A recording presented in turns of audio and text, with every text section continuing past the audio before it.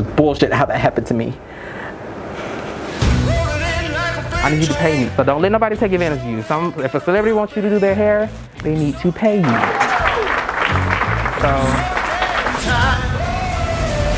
To be careful what you ask for. Yeah. Because you just might get it. The first thing my mind went to was like, is he dead?